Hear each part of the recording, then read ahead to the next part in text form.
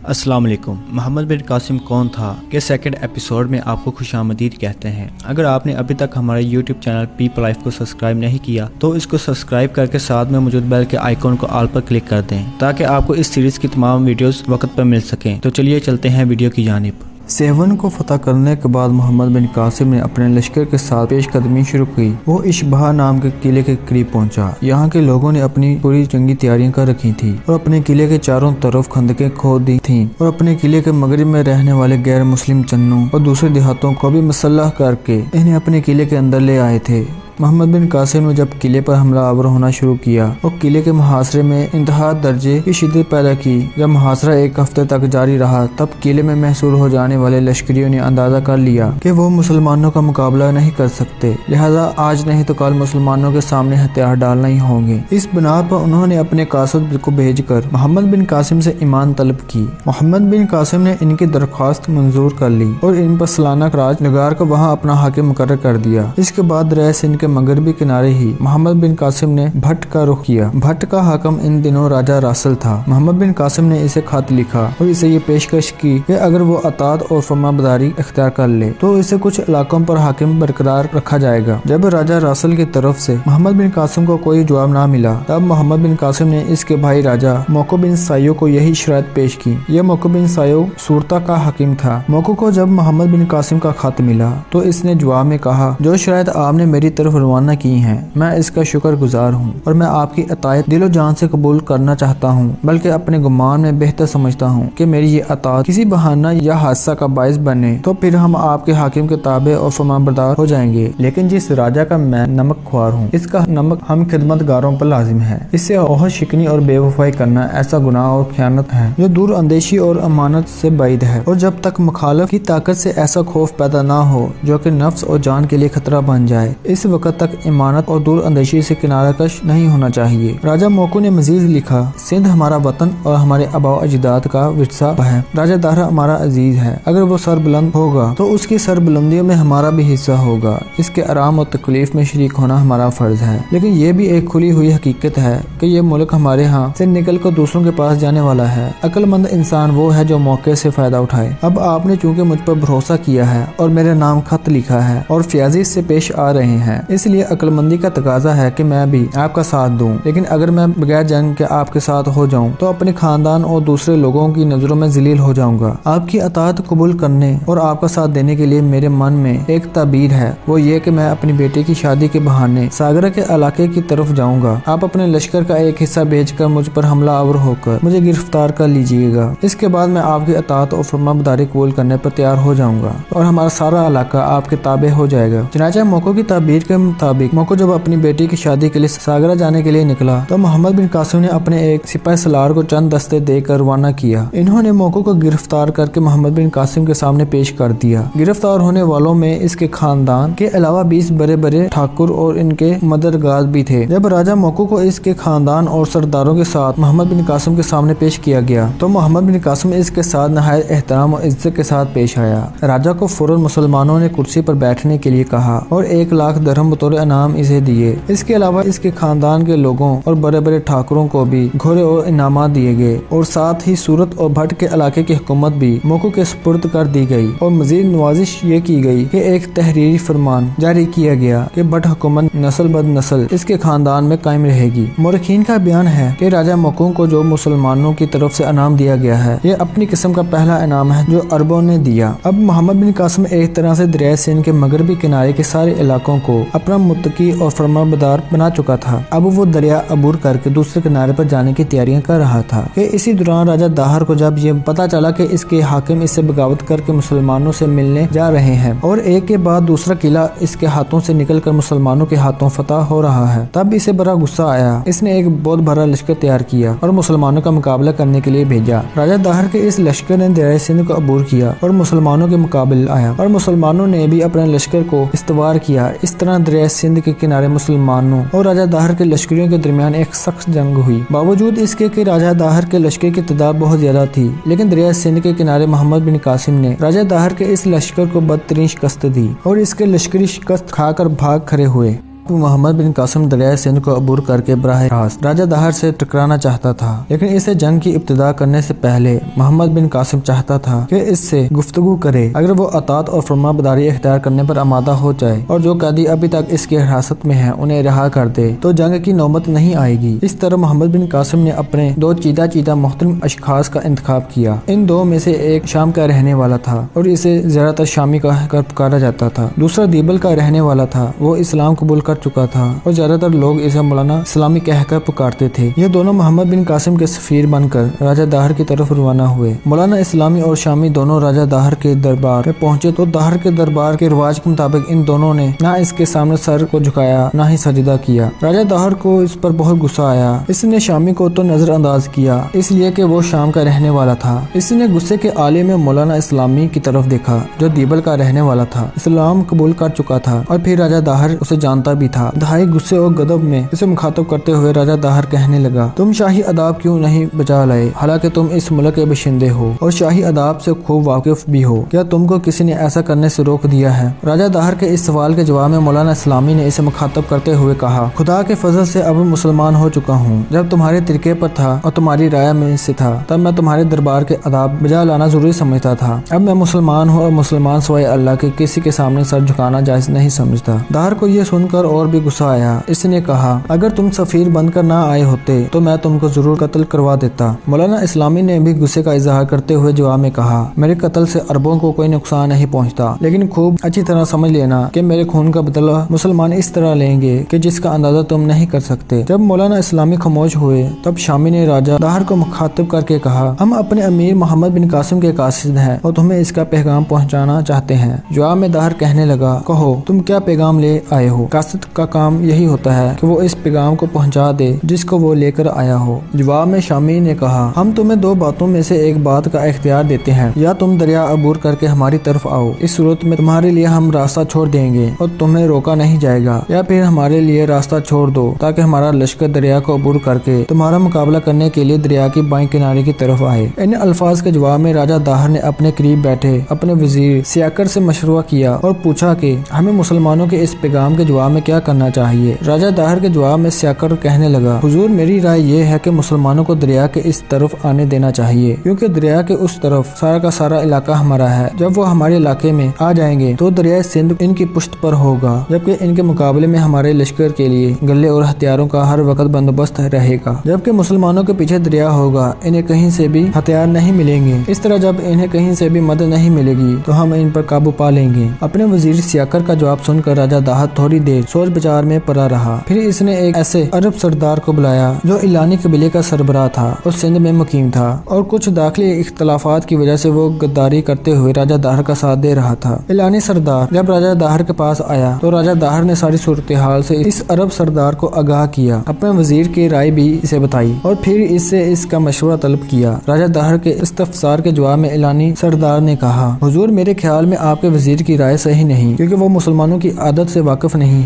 मोहम्मद बिन कासिम खासा बड़ा लश्कर लेकर आया है, जिसमें बड़े बड़े बहादुर बड़े बड़े सुरमा शामिल हैं। दूसरे ये कि मुसलमान जब लड़ाई के लिए निकलते हैं तो वो सर हथेली पर रह कर निकलते हैं। इनका भरोसा सिर्फ़ अल्लाह पर होता है, और वो हर वक्त अल्लाह से दुआ करते रहते हैं। इलाही, हम तेरे बंदे हैं, तेरे दीन को फैलाने की खातर लड़ाई के मैदान में आए हैं। इलाही, हमें इस लड़ाई में शहादत उस वक्त अता फरमा, जब हम अपने से दुगना दुश्मन को मार लें। इलानी सरदार मजीद कहने लगा, जब ये लोग दुश्मन के मुकाबले पर आते हैं तो वो इस कदर बहादुर होते हैं। ये लड़ाई से मुँह फेरना नहीं जानते। जब तक वो अपने दुश्मन को पसपा न कर दें, मेरी राय में इन्हें दरिया के इस पार ही रहने दीजिए। इसके अलावा ये एहतियात करें, ये इनके दूर और नज़दीक जिस कदर कश्तियाँ रखने वाले मलाह हैं, इन्हें और इलाके के दूसरे लोगों को हुक्म दे दें कि वो कश्तियाँ गला लकड़ी और दूसरी खाने पीने की चीज़ें इनके लश्कर तक न पहुँचाएँ और इन पर मैशियत तंग कर दें। शायद इस तबीर से कोई बेहतर सूरत हाल निकल आए। इस तरह राजा दाहर ने अपने हमायदीन से मशवरा करने के बाद मोहम्मद बिन कासिम के कासिदों को जवाब दिया। तुम जाकर मोहम्मद बिन कासिम से कह दो कि मुझे तुम्हारी कोई बात मंजूर नहीं। मेरा और तुम्हारा ये फैसल तलवार ही होगा। दरिया को पार करने में तुमको एहतियार है। इससे कोई खास फ़र्क नहीं पड़ता। ख्वा तुम आओ या हम आए। हम हर वक्त जंग के लिए तैयार हैं। मोहम्मद बिन कासिम के दोनों कासिद, राजा दाहर का यह जवाब सुनकर वापस लौट गए और सारा वाक्य मोहम्मद बिन कासिम से बयान किया। इधर दाहर ने भी अपने लश्कर की तैयारियाँ अरूज पर पहुँचा दी थी और इसने दरिया सिंध के करीब अपने लश्कर जमा भी कर लिया था। दूसरी तरफ़ मोहम्मद बिन कासिम कूच करके दरिया सिंध के मगरबी किनारे आया और वहाँ इसने लश्कर का पड़ाव कर लिया था। मोहम्मद बिन कासिम अभी दरिया सिंध के मगरबी किनारे भी क्याम किए हुए था कि इसे बड़ी खबर मिली कि सेवन में मुसलमानों के खिलाफ बगावत उठ खड़ी हुई थी। वहाँ से कासिद आया और इसने इतला दी कि चंद राम, जो कभी सेवन का हाकिम था, इसने कुछ ठाकरों और उनके मसल्ला जवानों को साथ मिलाकर सेवन के किले पर कब्जा कर लिया है और वहाँ से इसने अरब सिपाहियों को बाहर निकाल दिया है। मोहम्मद बिन कासिम ने जब ये खबर सुनी तो इसे बड़ा अफसोस हुआ। तहम इसने अपने एक सिपा सलार मोहम्मद बिन मसब को एक हज़ार सवार और दो हज़ार प्यादों के साथ फ़ौरन सेवन की तरफ़ रवाना किया। मोहम्मद बिन मसब जब अपने इस लश्कर के साथ सेवन पहुँचा तो चंद राम ने किले से बाहर निकलकर मुसलमानों से जंग की। लेकिन मोहम्मद बिन कासम के सिपा सलार मोहम्मद बिन मसब ने चंद्राम को सेवन के नुआ में बदतरीन शिकस्त दी। इस तरह चंद्राम भाग खड़ा हुआ। इसने किले में दाखिल होना चाहा, लेकिन मुसलमानों ने इसकी इस कोशिश को नाकाम बना दिया। लिहाजा शिकस्त उठाकर चंद्राम दूसरे इलाकों की तरफ़ भाग गया। इस तरह मोहम्मद बिन मसब अपने लश्कर के साथ शहर में दाखिल हुआ। जबकि मोजरीन दस्तारों और दूसरे लोगों ने मोहम्मद बिन मसब की खिदमत में हाजिर होकर माजत की कि हमारा इसमें कोई कसूर नहीं, बल्कि चंद्राम ज़बरदस्ती अपने मुसलत जवानों के साथ किले में खुश आया था और हमने इससे कोई तावन नहीं किया था।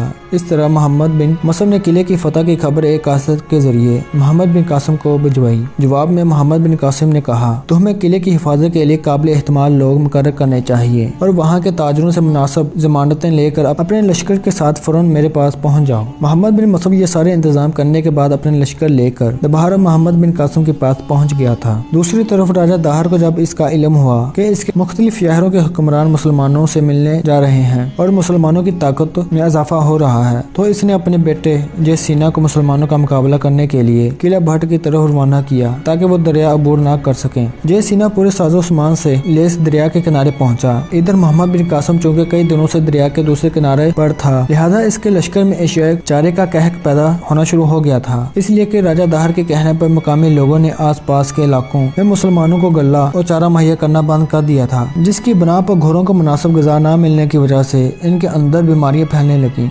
और वो मरने लगे। जबकि राजा दाहर इन दिनों अपनी जंगी तैयारियों को अपने अरूज पर ले आया था। राजा दाहर को जब खबर हुई कि मुसलमानों के लश्कर में चारे और गले का कहक बर्पा हो गया है तो इसने एक कासद मोहम्मद बिन कासम की तरफ़ भिजवाया और इसे कहा, किसी काम की इंतहा के पीछे पड़ना नहायत बदबख्ती और जलालत है। तुमने हमारे लिए और अपने लिए तंगी पैदा की है। अगर सुलह करके वापस चले जाओ तो मैं तुम्हारे लिए रसद का सामान भेजूँगी, ताकि तुम्हारे साथी भूख और बेसुर समानी में मुबतला होकर तबाह न हो। तुम्हें खुद भी सोचना सोचना चाहिए कि तुम्हारे पास कौन सा बहादुर मर्द है, जो हमारे मुकाबल होकर जंग करेगा। अगर तुम इसके लिए तैयार नहीं तो तुम जंग के लिए तैयार हो जाओ। राजा दाहर के इस पैगाम के जवाब में मोहम्मद बिन कासिम ने कहा, मैं इन सिपा सलारों में से नहीं हूँ, जो इतनी सी बात से घबरा कर वापस चले जाए। तुमने जो इतने दिन सरकशी की है, अगर तुम इस जमाने का सारा अखराज मेरे मरकजी दारकूमत के खजाने में जमा करवा दो तो हमारे दरमियान सुलह हो सकती है। वरना खुदा की मर्ज़ी से मुझे तो है कि मैं तुम्हारा सर काट कर इराक ज़रूर भेजूँगा। इसके साथ ही मोहम्मद बिन कासिम ने अपने घोड़े के मरने की इतला एक कासद के ज़रिए हजाज में यूसुफ को पहुंचाई। ये खबर सुनकर हजाज में यूसुफ को बड़ा दुख हुआ। इसी वक्त इसने 2000 घोड़े मोहम्मद बिन कासिम को भिजवाए और खत में इसे लिखा। मुझे कासद के ज़रिए घोड़ों के मरने का हाल मालूम हुआ। इसलिए तुम्हारे लिए 2000 घोड़े भेज रहा हूँ, ताकि ये लश्कर के काम आ सके। लश्कर को हमेशा मुनजम और चौकस रखो, ताकि खुदा के दुश्मन के लश्कर को दफ़ा कर सको। आखिर में हजाज बिन यूसुफ ने मोहम्मद बिन कासिम को नसीहत करते हुए कहा, तुम्हें किसी तरह कश्तियाँ हासिल करके इनका पुल बाँध कर दरिया को अबूर करना चाहिए। चाहिए। इन्हीं दिनों मोहम्मद बिन कासम के खत के जवाब में हजाज बिन यूसुफ ने धनी हुई, रोई को सिरके में तर करके इसे खुश करना शुरू किया। इस तरह कई मरतबा सिरका रोई में जजब किया गया। इस रोई की गांठे बनाकर मोहम्मद बिन कासिम को रवाना की गई साथ ही हजाज बिन यूसुफ ने मोहम्मद बिन कासिम को लिखा, तुमने अपने खात में सिर्फ़ सिरका तलब किया है। वो इस धनी हुई रोई में जजब है। जब ये गांठे पहुँचे और तुम्हें सिरके की ज़रूरत हो तो इस रोई को पानी में तर्क करो। सिरका निकल आएगा। इसके साथ ही हजाज बिन यूसुफ ने एक और खात में मोहम्मद बिन कासिम को लिखा इस खत में हजाज बिन यूसुफ ने मोहम्मद बिन कासिम को फतह किए जाने वाले इलाकों की गवर्नरी का परवाना अता करके इसे आज़ादी के साथ हुकूमत करने का अख्तियार दिया था। इसने इस खत में मजीद लिखा की, तुम्हारी ये रविश नापसंद है की तुम अमान देने के बड़े शौकीन हो। जिस दुश्मन से भी अदावत या मुखालफत ज़ाहिर हो, इसे अमान नहीं देनी चाहिए, क्योंकि जलील और शरीफ यकसा सलूक के मुस्तक नहीं होते। नीज इस तर्ज अमल से तुम्हारी कम अकली साबित होगी। दुश्मन इसे तुम्हारी कमज़ोरी या न ताकरी इख्तियार ख्याल करेगा। खुदा ने तुम्हें काबिल फ़िक्र अकल अता की है, लेकिन तुम इससे काम नहीं लेते। तुम सारी तवज्जो इस पर सिर्फ़ कर रहे हो कि सबको ईमान दी जाए। यह बात तुम्हें अपने इन हमराइयों को भी सुनानी चाहिए, जो तुम्हारे मशीर है। तुम सिर्फ़ अमान देने में मसरूफ हो, और इस तरह वक्त बेकार में जाया हो रहा है। और तुम, मैं समझता हूँ, दुश्मन के मुकाबले में बेकार बैठे हो। अगर तुम इसी तरह ईमान देते रहे और जंग करने के लिए पेशकदमी ना की तो याद रखना कि जंग के अखराज पूरे करने के लिए दूसरा रास्ता अख्तियार किया जाएगा। अजाज बिन यूसुफ के इस खत के बाद मोहम्मद बिन कासिम ने दरिया को पार करने का इरादा किया और वो सोचने लगा, कहीं ऐसा न हो कि राजा दाहर लश्कर लेकर दरिया के किनारे पर आकर हमारा रास्ता रोके। इसलिए पहले दुश्मन के हालात मालूम करना ज़रूरी है। फिर मोहम्मद बिन कासिम ने अपने एक सिपाही सलार को हुक्म दिया कि वो एक लश्कर लेकर रावर के किले के सामने चला जाए, ताकि इस सिमत से अगर राजा दाहर का बेटा अपने बाप की मदद को पहुँचे तो इसे रोका जा सके। एक और सिपाही सलार सुलेमान को दूसरी तरफ़ रवाना किया। एक तीसरे सिपाही सलार को 500 लश्करों के साथ इस तरफ़ रवाना किया, जहाँ से दुश्मन की आमद की तो की जा सकती थी। इसके बाद मोहम्मद बिन कासिम ने इसके साथ जो मुकामी हाकिम थे और तावन कर रहे थे,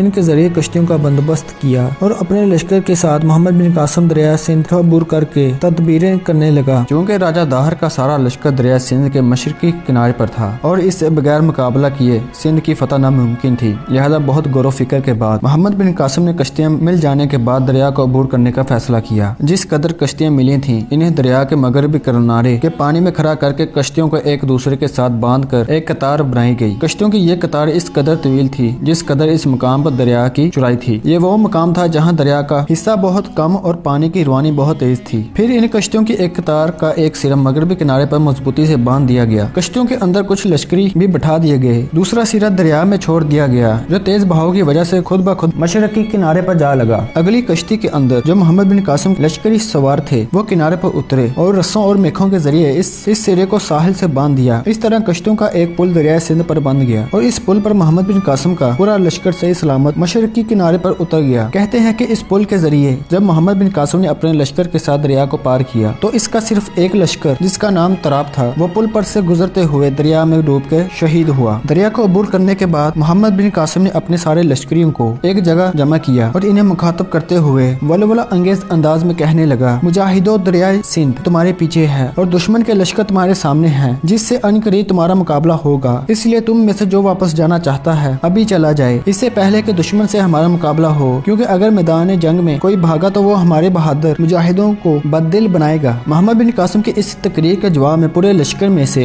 सिर्फ़ तीन आदमियों ने वापस जाने की इल्तजा की। इन तीनों में से एक ने मोहम्मद बिन कासिम से कहा, मेरी एक लड़की है और इसकी परवरिश करने वाला मेरे सिवा कोई नहीं, इसलिए मैं जाना चाहता हूँ। दूसरे ने कहा, मेरी माँ बुरी है, मेरे अलावा इसकी कोई खिदमत करने वाला नहीं है, ना कोई मेरा करीबी अज़ीज़ है। मैं इसकी देखभाल के लिए जाना चाहता हूँ। तीसरे ने कहा, मुझ पर और मेरे अहले खाना पर इस कदर कर्ज है कि वो मेरे अलावा मेरा कोई रिश्तेदार नहीं उतार सकता। ना ही मेरा कोई रिश्तेदार ऐसा है कि जो मेरी इस सिलसिले में मदद करे। लिहाजा मैं वापस जाना चाहता हूँ। मोहम्मद बिन कासिम ने इन तीनों को बखुशी वापस जाने की इजाज़त दे दी थी। इधर मोहम्मद बिन कासिम का मुकाबला करने के लिए राजा दाहर ने अपने बेटे जय सीना को रवाना किया और इसे एक बहुत बड़ा लश्कर मुहैया किया और मुसलमानों पर हमला आवर होने की हदायत की। जय सिन्हा के लश्कर में काफ़ी हाथी थे, जो इसने अपने लश्कर के आगे रखे हुए थे। इस मौका पर जय सीना खुद भी एक हाथी पर सवार था। राजा दाहर के बेटे जय सीना और मोहम्मद बिन कासिम के दरमियान दरिया सिंध के करीब एक खौफनाक मार्का हुआ। जय सीना का ख्याल था कि इसके लश्कर में हाथी हैं। इसके लश्कर की तादाद भी ज़्यादा है, लिहाजा वो मुसलमानों को मार भगाएगा। लेकिन मोहम्मद बिन कासिम ने इसे बदतरीन शिकस्त दी। इस मौका पर अरबियों ने इस जोशो खरोच के साथ जय सीना के लश्कर पर हमला किया कि इन्होंने जय सीना और उसके मुहाफिजों को घेरे में ले लिया। करीब था कि जय सीना गिरफ़्तार होकर मुसलमानों के हाथों मारा जाए। इसी दौरान बहुत से फेलबान अपने हाथों को हरकत में लाए, जिसकी वजह से मुसलमानों के घोड़े हाथों के इधर उधर हरकत में आ जाने की वजह से बतक उठे। जब घोड़े इधर उधर मुंतशिर हुए, तब जय सीना को अपनी जान बचाने का मौका मिल गया। इस तरह जय सीना के लिए जान बचाने का एक रास्ता निकल आया। बड़ी मुश्किल से जान बचा कर अपने बाप के पास पहुँचा। लेकिन जिस कदर लश्कर इसके साथ था, इसे मुसलमानों ने मौत के घाट उतार दिया। इसी दौरान मोहम्मद बिन कासिम को अपने चचा हजाज बिन यूसुफ की तरफ़ से एक खत मिला। खत में हजाज बिन यूसुफ ने मोहम्मद बिन कासिम को लिखा था, जहाँ राजा दाहर हो, अपने लश्कर के साथ वहीं जाकर इसका मुकाबला करो,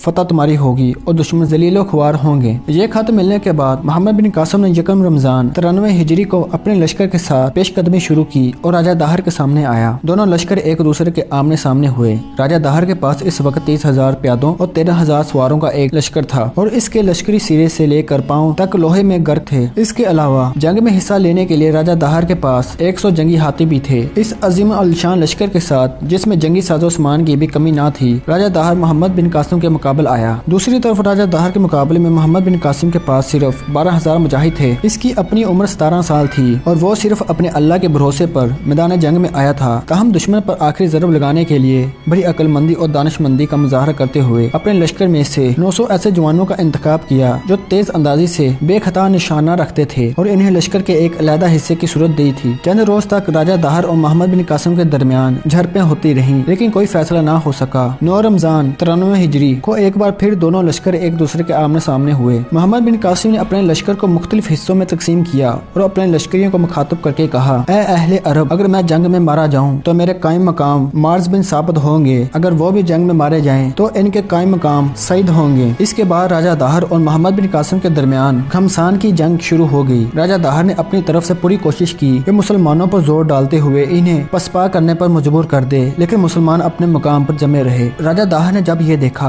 कि मुसलमान लश्करी आहनी दीवार बनकर खड़े हैं और पीछे हटने का नाम नहीं लेते, तब इसने जंगी हाथियों को आगे बढ़ाया, जिन्हें जंग में हिस्सा लेने के लिए खास तरबियत दी जाती थी। मोहम्मद बिन कासिम ने जब देखा कि राजा दाहर मुसलमानों को नुकसान पहुँचाने और अपनी फतह को यकीनी बनाने के लिए हाथियों को आगे बढ़ा रहा है, तब मोहम्मद बिन कासिम के हुक्म पर इस्लामी लश्कर ने अपने आप को छोटे छोटे दस्तों में तकसीम कर लिया और हाथियों पर हमला करके इन्हें बुरी तरह जख्मी करके मार गया। हाथियों के भागने पर मुसलमानों ने दिल खोल कर एकदम दुश्मन पर जोरदार हमला किया और दुश्मन के लश्कर को पीछे धकेल दिया। यहाँ तक कि सूरज गुरूब हो गया और दोनों लश्कर अपने प्रभाव की तरफ़ चले गए। दस रमज़ान मुबारक जुमेरात के दिन मोहम्मद बिन कासिम और राजा दाहर के लश्कर फिर एक दूसरे के आमने सामने आए। इस बार राजा दाहर बड़ी शानो शौकत से खुद मैदान जंग के अंदर मौजूद था। इसके साथ इसका बेटा जयसीना भी था। दोनों अपने लश्कर के दरमियानी हिस्से में थे और इनके दस हज़ार फौजी अपने घोड़ों को दोहरा रहे थे। ये सारे जंगजू सर तपा लोहे में गर्क थे। इसके अलावा जख्मी होने वाले हाथियों के अलावा राजा दाहर मजीद जंगी हाथी अपने लश्कर के सामने ले आया था। अब राजा दाहर के लश्कर की अजीब हालत थी। लश्कर के आगे आगे अनगिनत हाथी थे। इनके पीछे दस हज़ार सवार और इनके पीछे तीस हज़ार प्यादे हथियारों से लेस थे। लश्कर के वस्त में राजा दाहर इसका बेटा जयसीना थे। कहते हैं कि इस वक्त राजा दाहर सफ़ेद रंग के एक हाथी पर सवार था। हाथी को बड़े बड़े सरदारों, ठाकरों और अमीरों ने घेरे में लिए हुए थे। राजा दाहर सफ़ेद हाथी की अमारे पर बैठा हुआ था। इसके साथ दो नहायत खूबसूरत कनीजें बैठी हुई थी। इनमें से एक राजा दाहर को शराब की जाम देती जाती थी और दूसरी थोड़ी थोड़ी देर से इसे पान देती जा रही थी।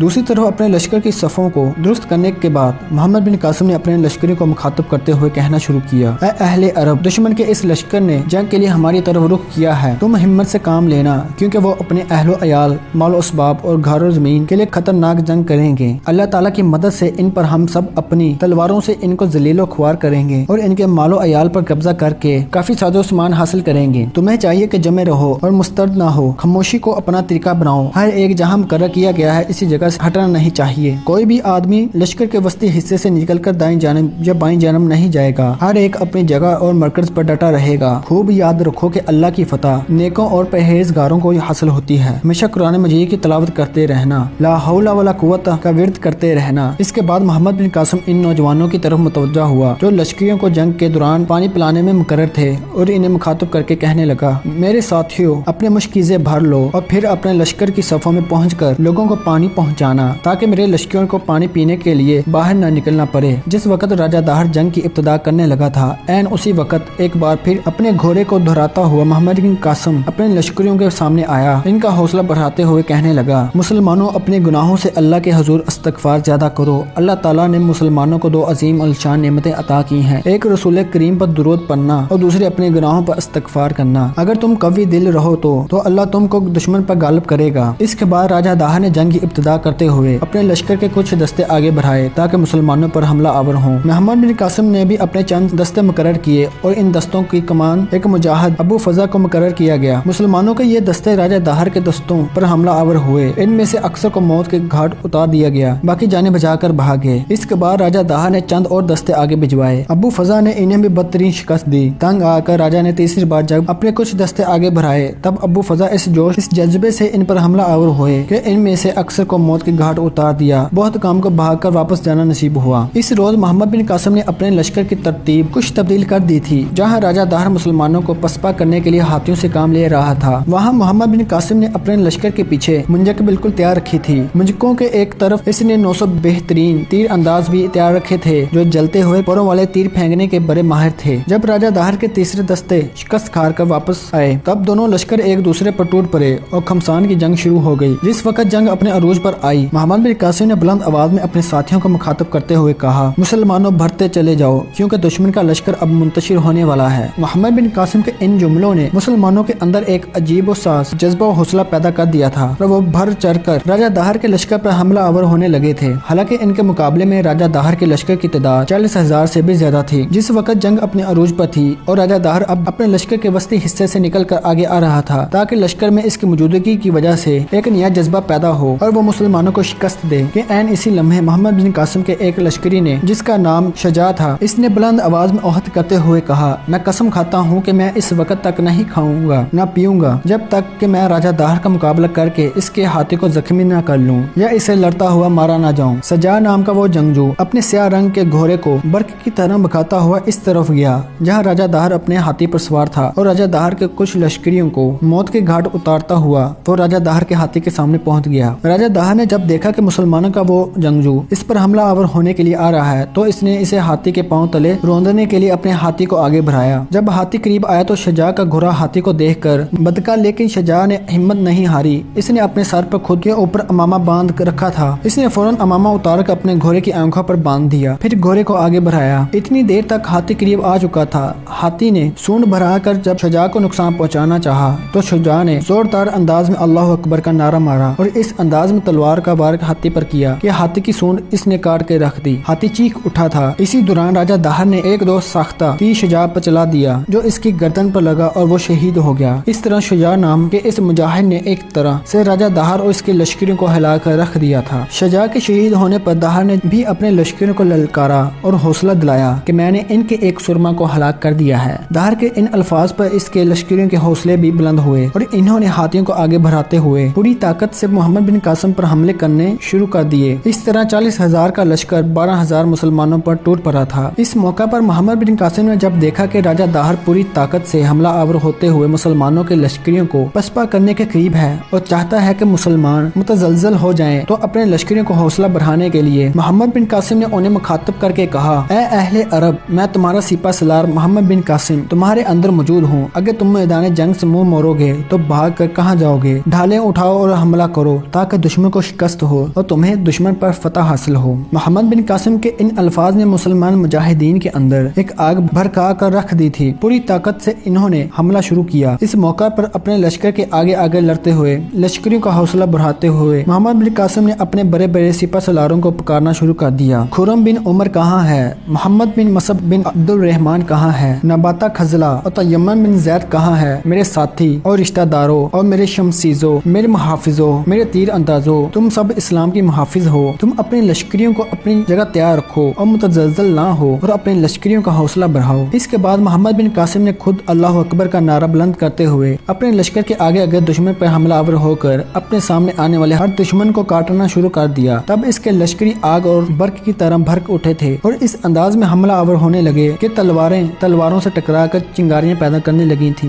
राजा दाहर ने अपनी तरफ़ से पूरी कोशिश की कि मुसलमानों को पसपा करे, लेकिन अब इसने देखा कि मुसलमान इसके लश्कर के अंदर घुसकर दबाव डालते जा रहे थे, बल्कि इसके लश्कर को काटते हुए इसकी तादाद भी कम करते जा रहे थे। एन इसी लम्हे जब जंग अपने पूरे जोबन पर थी, राजा दाहर ने अपने लश्करियों का हौसला बढ़ाने के लिए जो लश्कर के आगे हाथी रखे थे, इनके अंदर खुद भी आया। इस तरह वो अपने लश्कर के आगे होकर अपने लश्करियों को ये तासुर देना चाहता था कि असल जंग अब शुरू होगी। दूसरी तरफ़ मोहम्मद बिन कासिम कम उम्र होने के साथ साथ जंग का वसी तजुर्बा रखता था और वो दुश्मन की किसी चाल से गाफिल नहीं था। जो ही हाथी पर सवार राजा दाहर अपने लश्कर के सामने आया, तब मोहम्मद बिन कासिम ने तलवार बुलंद करते हुए अपने लश्करियों को मखसूस इशारा किया। ये इशारा मिलना था कि लश्कर के पीछे जो मुंजके थी, इन्होंने राजा दाहर के लश्कर पर संगबारी शुरू कर दी और साथ ही 900 बेहतरीन तीर अंदाज जो मोहम्मद बिन कासिम ने मुकर कर रखे थे, इन्होंने जलते हुए परों के तीर दुश्मन पर फेंकने शुरू कर दिए। जलते हुए इन तीरों की वजह से राजा दाहर के हाथी बतकने लगे। इसी लम्हे एक मुसलमान मुजाहिद ने